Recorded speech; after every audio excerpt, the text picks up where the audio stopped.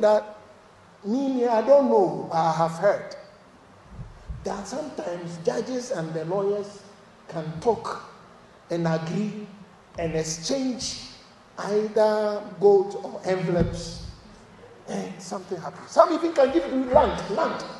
Especially if the case is land. Me, I don't know about her. That no.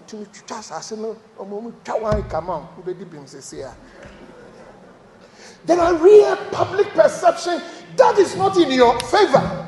That is not the, the story of these people we are celebrating. But after 41 years, this one here is your story.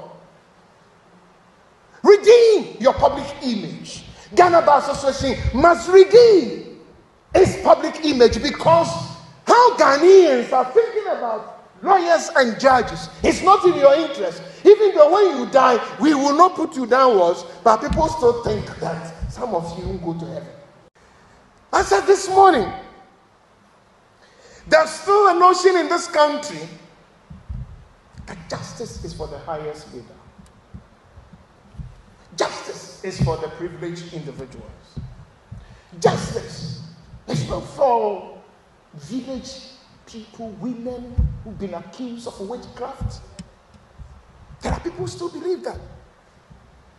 And that is why there are people who still hold the notion in this country the perception that justice is better served at the shrine. And we are in Kumasi. We are near the Acho.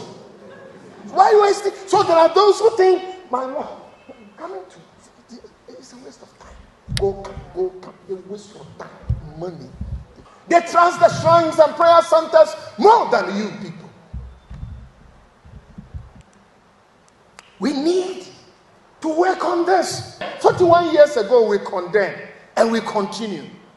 Today, we are still condemning acts of, of abuse, of injustice in this country, and we are still moving on. There's legal illiteracy in Ghana. People are so ignorant.